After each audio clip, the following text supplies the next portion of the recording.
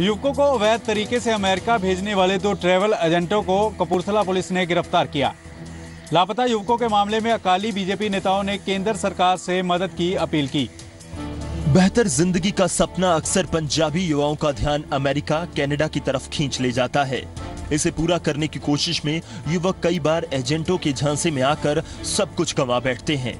ऐसे ही मामले का खुलासा साउथ अमेरिका के समुद्री रास्ते में नाव पलटने से हुआ है। जिसमें 20 भारतीय सवार थे इसमें कपूरथला के दो नौजवान भी शामिल थे परिजनों की शिकायत पर पुलिस ने दो एजेंटों को गिरफ्तार किया है ट्रैवल एजेंटों ने युवाओं से 25-25 लाख में डील डन की थी 20 ਬੰਦੇ ਡੁੱਬ ਗਏ ਆ ਜਿਨ੍ਹਾਂ ਦਾ ਕੋਈ ਪਤਾ ਨਹੀਂ ਲੱਗਿਆ ਉਸ ਕਿਸ਼ਤੀ ਵਿੱਚ ਜਿਹੜੇ ਡੁੱਬੇ ਹੈਗੇ ਆ ਇਹ ਦੋ ਬੰਦੇ ਸਾਡੇ ਭਲਾਥ ਏਰੀਏ ਦੇ ਸੀਗੇ ਇੱਕ ਬਚਨ ਸਿੰਘ ਦਾ ਮੁੰਡਾ ਸੀਗਾ ਗੁਰਵਿੰਦਰ ਤੇ ਦੂਸਰਾ ਗੁਰਜੀਤ ਸਿੰਘ अविनाश राय खन्ना और चंदू माजरा ने केंद्र सरकार से मदद की अपील की है वहीं अकाली सांसद का कहना है कि ऐसे एजेंटों पर शिकंजा कसने के लिए कड़ा कानून बनना चाहिए ਤੇ ਮੈਂ ਵੀ ਖੁਦ ਇਸ ਮਾਮਲੇ ਨੂੰ ਕੇਂਦਰ ਸਰਕਾਰ ਤੱਕ ਲਿਆਵਾਂਗੇ ਔਰ ਮੈਨੂੰ ਇਹ ਦੱਸ ਦੱਸ ਕੇ ਇੱਕ ਜਾਣਕਾਰੀ ਦੇ ਕੇ ਆਪਣੇ ਆਪ 'ਚ ਇਹ ਗੱਲ ਆਂਦੀ ਹੈ ਕਿ ਸਾਡੇ ਜਿਹੜੇ ਵਿਦੇਸ਼ ਮੰਤਰੀ ਨੇ ਉਹ ਵੀ ਇਹਨਾਂ ਮਾਮਲਿਆਂ 'ਚ ਬੜੀ ਗੰਭੀਰਤਾ ਨਾਲ ਐਕਸ਼ਨ ਕਰਕੇ ਇਮੀਡੀਏਟਲੀ ਜਿਹੜਾ ਹੈ ਕਾਰਵਾਈ ਕਰਨ ਦੀ ਹਮੇਸ਼ਾ ਕੋਸ਼ਿਸ਼ ਕਰਦੇ ਨੇ ਇਸ ਤਰ੍ਹਾਂ ਦੇ ਏਜੰਟ ਨੇ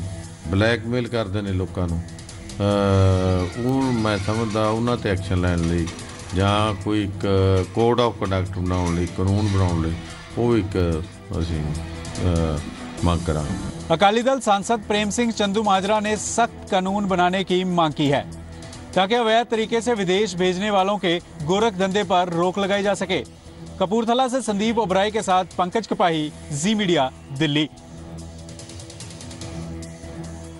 पंजाबी युवकों के लापता होने पर मनप्रीत बादल ने अफसोस जताया है। कांग्रेस नेता ने कहा कि बेरोजगारी के कारण युवाओं को अमेरिका और अरब देशों का रुख करना पड़ता है। समुद्री रास्ते से अमेरिका जा रहे पंजाबी युवकों के लापता होने के मामले पर कांग्रेस नेता मनप्रीत बादल की प्रतिक्रिया आई है। मनप्रीत बादल गोल्डन टेंपल में मत्था टेकने पहुँचे थे। इसके बाद उन्होंने मीडिया से बात करते हुए इस संकट के लिए बेरोजगारी को जिम्मेदार ठहराया। उन्होंने कहा कि बेरोजगारी के चलते पंजाबी युवा अमेरिका और अरब देशों का रुख करते हैं। उन्होंने हादसे पर अफसोस जताया है। अफसोस है बट मुझे इसमें हैरत कोई नहीं है। हैरत इसलिए नहीं है कि जो पंजाब का नौजवान है, उसको उसको रोज़गार के मौके कहीं नहीं है।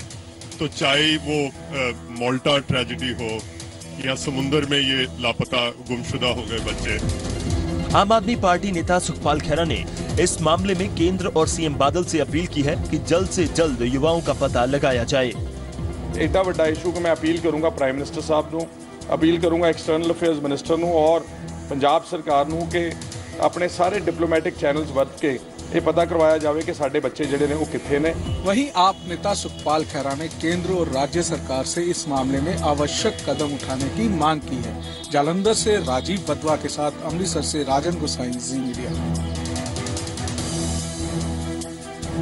खडूर साहब उपचुनाव में गठबंधन की जीत होगी ये दावा ठोका है काली आगू प्रोफेसर प्रेम सिंह चंदू मायरा और अविनाश राय खन्ना ने बोले लोग विकास कार्यों पर लगाएंगे मोर खडूर साहब उपचुनाव के लिए अकाली बीजेपी तैयार हैं। अकाली सांसद चंदुमाचरा ने बताया कि पार्टी प्रधान सुखबीर बादल 20 जनवरी को इस बाबत मीटिंग करेंगे। उन्होंने कहा कि कांग्रेस का उम्मीदवार तो भाग खड़ा हुआ है, इसलिए जनता अकाली बीजेपी उम्मीदवार पर ही मुहर लगाएगी।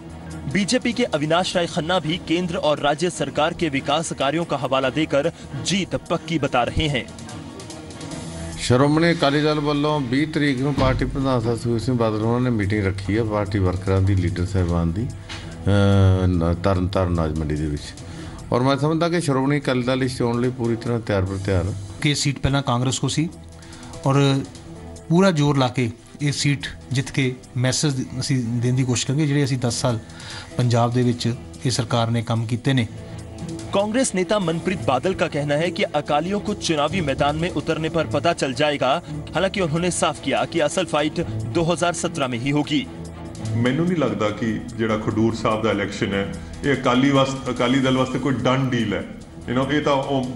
ਉਹ ਜਦੋਂ ਮੈਦਾਨ ਚ ਆਏ ਤਾਂ ਲੱਗ ਪਤੇ ਜਾਣਗੇ ਪਰ ਅ, ਮੈਨੂੰ ਲੱਗਦਾ ਹੈ ਕਿ 17 ਦੇ ਵਿੱਚ ਲੋਕਾਂ ਨੇ ਕੋਈ ਵਧੀਆ ਫੈਸਲਾ खडूर साहब उपचुनाव को 2017 के चुनाव से पहले सेमीफाइनल के रूप में देखा जा रहा है लेकिन कांग्रेस और आम आदमी पार्टी का कहना है कि ग्रैंड फाइनल तो फिर 2017 में ही होगा पंकज कपाई के साथ Jagtar Bullar ji media Chandigarh NIA SP Salwinder Singh का अगले तीन दिन तक कभी भी लाई डिटेक्टर टेस्ट करवा सकती है पटियाला हाउस कोर्ट ने इसकी मंजूरी दे दी है। एनआईए एसपी सलविंदर का लाई डिटेक्टर टेस्ट कराएगी। जाँच एजेंसी को दिल्ली के पटियाला हाउस कोर्ट से लाई डिटेक्टर टेस्ट की परमिशन मिल गई है। अगले तीन दिन में कभी भी एसपी सलविंदर सिंह का लाई डिटेक्टर टेस्ट करवाया जा सकता है। पठानकोट आतंकी हमले के सिलसिले में एनआईए कई दिन से एसपी सलविंदर सिंह से पूछताछ कर रही है। आपको बता दें कि आतंकी हमले में पहले एसपी को किडनैप कर लिया गया था। इस मामले में एनआईए, एसपी के रसोइये दरगाह की केयर टेकर को आमने सामने बिठाकर भी पूछताछ कर चुकी है, जिस दौरान बयानों में विरोधाभास सामने आया था।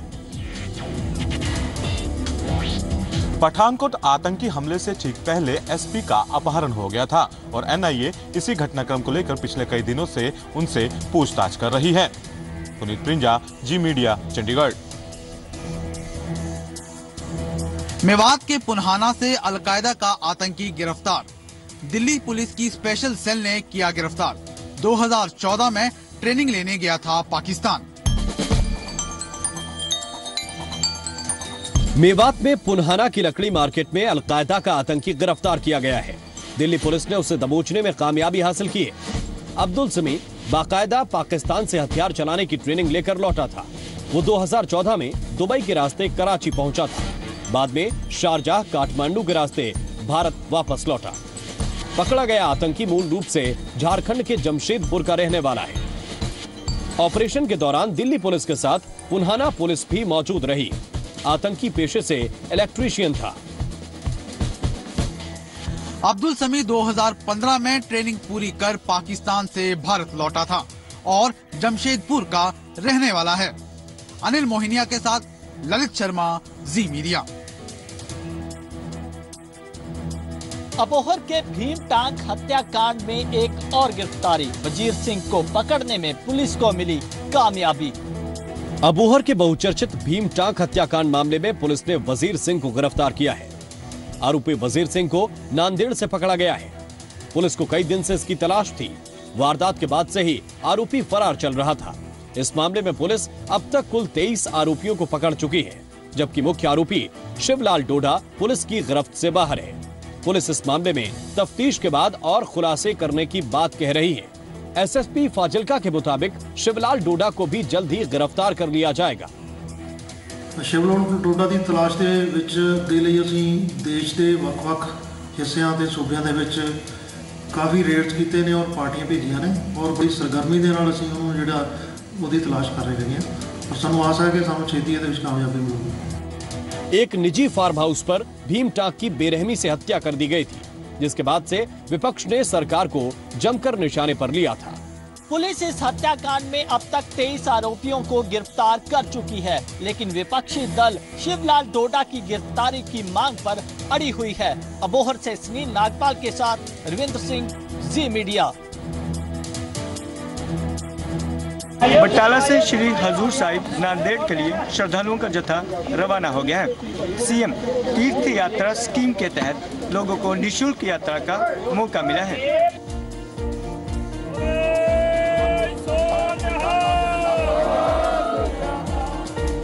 सीएम तीर्थ यात्रा स्कीम के तहत गुरदासपुर के फतेहगढ़ चूड़िया हल्का वासियों के लिए बटाला से ट्रेन रवाना की गई, जो कि हजूर साहिब नांदेड़ जाएगी। ट्रेन को हरी झंडी पंजाब के पूर्व विधानसभा स्पीकर निर्मल सिंह काहलो ने दिखाई इस मौके पर उन्होंने कहा कि जरूरत पड़ी तो दोबारा ट्रेन भेजने के लिए सीएम से बात करेंगे ਕਿਸੇ ਦਾ ਕੋਈ ਖਰਚਾ ਨਹੀਂਗਾ ਨਾ ਰਾਸ਼ਨ ਪਾਣੀ ਦਾ ਨਾ ਜਾਣ ਦਾ ਨਾ ਆਉਣ ਦਾ ਕੋਸ਼ਿਸ਼ ਕਰਾਂਗੇ ਮਹਾਰਾਜ ਉਹਨਾਂ ਨੂੰ ਆਖਾਂਗਾ ਮੈਂ ਸੀਐਮ ਸਾਹਿਬ ਨੂੰ ਜੇ ਦੁਬਾਰਾ ਦੀ ਹੋਗੀ ਤਾਂ ਫਿਰ ਚੱਲ ਫਿਰਾਂਗੇ उधर श्रद्धालु भी निशुल्क यात्रा सेवा के शुरू होने से खासे खुश थे ट्रेन में मुफ्त खाने पीने का भी बंदोबस्त है श्रद्धालुओं ने पंजाब सरकार के इस प्रयास की सराहना की है ਅੱਜ ਬਟਾਲੇ ਤੋਂ ਜੋ ਸੰਗਤਾਂ ਹਜੂਰ ਸਾਹਿਬ ਵਾਸਤੇ ਜਾ ਰਹੀਆਂ ਨੇ ਬਹੁਤ ਹੀ ਵਧੀਆ ਇੱਕ ਸਰਕਾਰ ਦਾ ਉਪਰਾਲਾ ਹੈ ਅਤੇ ਸੰਗਤਾਂ ਨੂੰ ਵਧਾਈ ਦਿੰਦਾ ਹਾਂ ਕਿ ਆਪਣੇ ਇਸ ਤਖਤਾਂ ਦੇ ਦਰਸ਼ਨ ਕਰਕੇ ਸੁਖੀ ਸ਼ਾਂਤੀ ਖੁਸ਼ੀਆਂ ਖੇੜੇ ਨਾਲ ਇਸ ਆਪਣੇ ਘਰ ਵਿੱਚ ਵਾਪਸੀ ਕਰੀਏ सूबे की अलग अलग जगहों से सरकार निशुल्क यात्रा सेवा के मकसद से ट्रेनों को रवाना कर रही है जो लोगों को अलग अलग तीर्थ स्थलों के दर्शन करवाएगी अजय महाजन जी मीडिया गुरदासपुर हरियाणा में पंचायती चुनाव में नई शर्तें लागू होने से पंच सरपंच और पंचायत समिति सदस्यों के कई पद खाली रह गए हैं सरकार के लिए इन पदों पर योग्य उम्मीदवारों को ढूंढना एक चुनौती बन गई है। हरियाणा पंचायत चुनाव में शैक्षिक योग्यता लागू करवाकर प्रदेश सरकार ने खूब वाहवाही लूटी, लेकिन यही शर्त मुश्किल का सबब भी बनने लगी है। पहले दो चरण का चुनाव पूरा होने के बाद पंचायत समिति सदस्य, पंच और सरपंच के कई पद खाली रह गए हैं। इनमें सबसे ज़्यादा पंच के खाली पद रहे हैं। पंच के लिए बीस हज़ार एक सौ छब्बीस वार्ड थे, पद थे, जिनमें से छः सौ पचासी जो है, वो ऐसे वार्ड मिले जिनके अंदर एक भी नॉमिनेशन नहीं आया। राज्य चुनाव आयोग इन पदों को भरने के लिए दोबारा चुनाव करवा सकता है या फिर सरकार के पास इस मसले को विचार के लिए भेज सकता है। एक बार तो अवश्य पुनः से मतदान कराना चाहेंगे इलेक्शन कराना चाहेंगे, लेकिन फिर भी यदि कोई उसमें उम्मीदवार नहीं आता है, कोई भी नामांकन पत्र नहीं आता है तो उसको हम विचार के लिए सरकार को रेफर कर देंगे कि ये परिस्थितियाँ हैं और ये पद खाली हैं, जिनको भरना आवश्यक है। सरकार इन पदों पर योग्य उम्मीदवार न मिलने के कारणों का सर्वे करवा रही है, जबकि निर्वाचन आयोग के पास पुनः मतदान करवाने का विकल्प बचा है। कुलवीर दीवान, जी मीडिया, चंडीगढ़। चंडीगढ़ में डीजल ऑटो बंद करने के खिलाफ ऑटो चालकों का हल्ला बोल। 20 जनवरी को चक्का जाम करने की दी चेतावनी। डीजल ऑटो पर पाबंदी लगाए जाने के खिलाफ ट्राई सिटी की ऑटो यूनियन ने सेक्टर 34 में विरोध प्रदर्शन किया। ऑटो चालकों का आरोप है कि प्रशासन ने डीजल ऑटो बंद करने का फैसला लेकर उन्हें बेरोजगार कर दिया है। इस दौरान प्रदर्शनकारियों की पुलिस के साथ झड़प भी हुई। करीब 324 ऑटो चालकों ने गिरफ्तारियाँ भी दी। हमारी मुद्दा है कि डीजल से अगर पोल्यूशन होता है तो डीजल से सारी जो सरकारी गाड़ियाँ हैं, सिटी बसें हैं, या प्राइवेट गाड़ियाँ हैं, इन सबको बंद करना चाहिए। उधर इस मामले पर सियासत भी शुरू हो गई है। चंडीगढ़ कांग्रेस के नेताओं ने ऑटो चालकों की हड़ताल को समर्थन दे दिया है। उनका आरोप है कि प्रशासन एकदम से डीजल ऑटो बंद करने का फैसला नहीं ले सकता। प्रशासन बहुत देर से प्रॉमिस कर रहा है कि एलपीजी को जो यहाँ पे सीएनजी को यहाँ पर लेके आया जाएगा, मगर वो सीएनजी के पंप्स को भी यहाँ पे लाया नहीं गया है। ये लोग अपने किट्स को, अपने इंजन्स को कन्वर्ट कराने के लिए तैयार हैं और ये लोग संयोग करने को तैयार हैं। मगर ऐसा नहीं कि आप एक दिन में फैसला कर लो। कम से कम एक लाख लोग इससे जुड़े हुए हैं, क्योंकि पूरे ट्राई सिटी के अंदर पंद्रह हज़ार के करीब ऑटोज हैं। कांग्रेस ऑटो चालकों की हड़ताल को समर्थन देकर मामले को सियासी रंग दे दिया है। चंडीगढ़ से Nitika Mahesh Preet C media. RSS शाखा पर फायरिंग। अज्ञात हमलावर फायरिंग के बाद फरार। तस्वीरें सीसीटीवी फुटेज में कैद। लुधियाना में आरएसएस शाखा को निशाना बनाने वाले हमलावर सीसीटीवी कैमरे में कैद हुए हैं। घटना किदवई नगर की है, जहाँ आरएसएस कार्यकर्ता एक पार्क में इकट्ठा होकर शाखा में हिस्सा ले रहे थे। इसी दौरान पार्क के बाहर दो युवक खड़े थे। जब उनसे वहाँ खड़े होने के बारे में सवाल पूछे गए तो वो फायरिंग करके मौके से फरार हो गए। तो एक कार्यकर्ता जो मेरे नरेश जी हैं, उनको बाहर एक लड़का मिला, जो खड़ा था, सामान लेके कुछ बैग में था, उसके उन्होंने पूछा कि तुम यहाँ क्यों खड़े हो? उसने कहा, मैं किसी का इंतज़ार कर रहा हूँ। जब हमारे नरेश जी अंदर आए तो एक आदमी और उनके पास आया। उनका पूछता तुम यहाँ लोकल हो? इतना कहा तो उसने उसने फायरिंग शुरू कर दी। पुलिस ने केस दर्ज कर जाँच शुरू कर दी है। फ़िलहाल सीसीटीवी फुटेज की मदद से हमलावरों तक पहुँचने की कोशिश की जा रही है। अभी हम इन्वेस्टिगेशन कर रहे हैं। मौके पे कुछ सीसीटीवी फुटेज मिले हैं। उसमें जो शो हो रहा है उसमें तो उन्होंने मंकी कैप डाली हुई थी वारदात के दौरान किसी के घायल होने की खबर नहीं है लेकिन सवाल ये उठता है कि क्या हमलावरों का मकसद दहशत फैलाना था या फिर कुछ और? कैमरामैन मनीष त्रिगोत्रा के साथ नवीन शर्मा जी मीडिया लुधियाना। शिमला में पीलिया के बढ़ते कहर और सियासत के बीच एसआईटी का गठन। मलियाना सीवरेज ट्रीटमेंट प्लांट के ठेकेदार के खिलाफ केस दर्ज कर शुरू करी जाँच। शिमला में पीलिया पर बयानबाजी हुई। एक दूसरे पर आरोप प्रत्यारोप लगाए गए। खूब सियासत हुई। पीलिया से लोगों की मौत हुई, लेकिन शिमला में फैल रहे पीलिया के असल कारणों की जाँच पुलिस करेगी। शिमला पुलिस ने मामले की जाँच के लिए एसआईटी का गठन कर दिया। इस एसआईटी का गठन शिमला के अतिरिक्त पुलिस अधीक्षक संदीप धवल के नेतृत्व में किया गया है जबकि एएसपी गौरव सिंह समेत छह अधिकारियों को एसआईटी का हिस्सा बनाया गया है। आ, पानी को जानबूझ के दूषित किया जाना पानी में जो सीवरेज का पानी है उसको मिलाना ये पानी को जानबूझ के दूषित किया माना जाएगा और वो सीवरेज मिला हुआ पानी पीने से जो जॉन्डिस फैल रहा है और जो बहुत ज़्यादा फैल रहा है। ये सब आईपीसी की लीगल भाषा की परिभाषा में आते हैं। एसपी नेगी ने साफ़ कर दिया कि अगर इस मामले में कोई भी दोषी पाया गया तो उसके खिलाफ कानून के तहत सख्त कार्रवाई की जाएगी।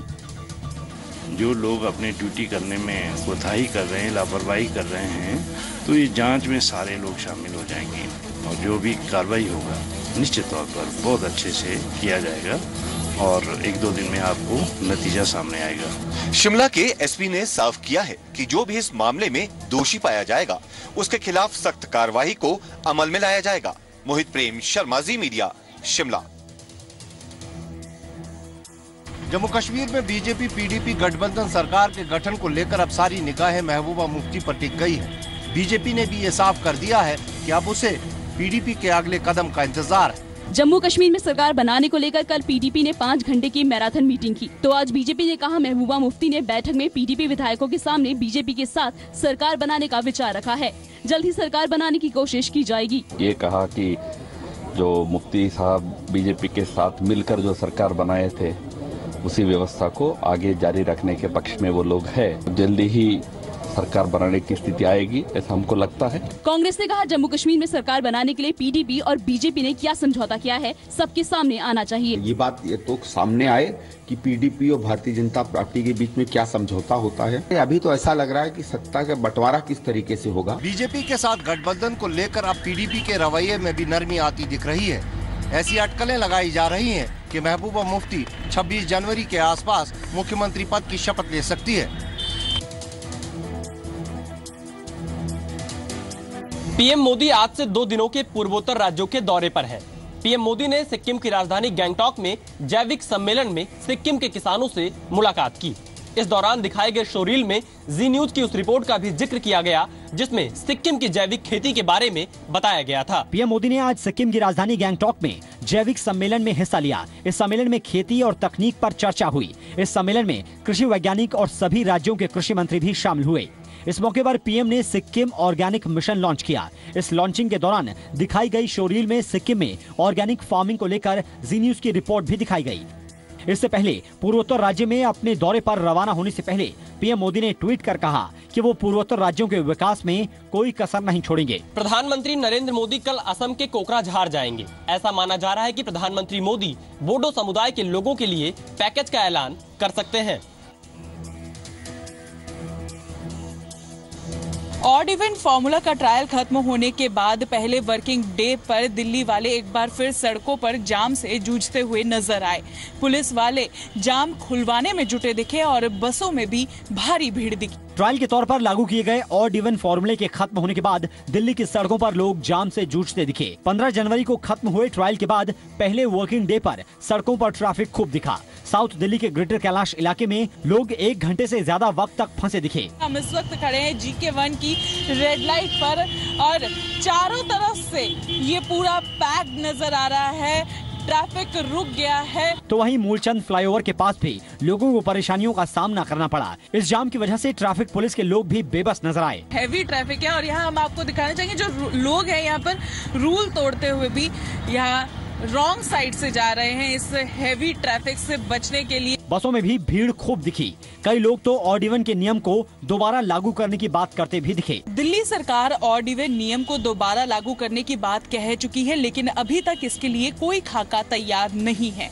ऐसे में तब तक दिल्ली वालों को जाम से जूझने के अलावा कोई और चारा नहीं है। 26 जनवरी को राजपथ पर होने वाली रिपब्लिक डे परेड की फुल ड्रेस रिहर्सल जारी है। इस परेड में फ्रांस की सेना भी मार्च पास्ट करते दिखेगी। ये पहला मौका है जब किसी दूसरे देश की सेना को परेड का हिस्सा बनाया गया है। वहीं परेड में 26 साल बाद डॉग स्क्वाड की वापसी होगी। दुनिया का सबसे बड़ा लोकतंत्र भारत 26 जनवरी को गणतंत्र दिवस समारोह मनाया जाएगा। इसकी कामयाबी के लिए राजपथ पर फुल ड्रेस रिहर्सल जारी है। इस बार का गणतंत्र दिवस समारोह कई मायने में खास है। खास इसलिए क्योंकि पहली बार किसी दूसरे देश की सेना मार्च पास में शामिल हो रही है। मेजर लोकस्ते की अगुवाई में राजपथ आरोप फ्रांस की सेना भी कदमताल करते दिखेंगी। इसके साथ ही 26 साल बाद एक बार फिर आर्मी का डॉग स्क्वाड भी परेड में दिखेगा। नब्बे मिनट के इस कार्यक्रम में परेड की झांकियाँ कम होगी? पहली बार सेना से रिटायर हुए वेटरन पर भी एक झांकी होगी। गणतंत्र दिवस से पहले ये रिहर्सल अभी 20 जनवरी 21 जनवरी और 23 जनवरी को भी की जाएगी। फ्रांस के राष्ट्रपति फ्रांसवा ओलांद इस बार रिपब्लिक डे परेड में मुख्य अतिथि होंगे।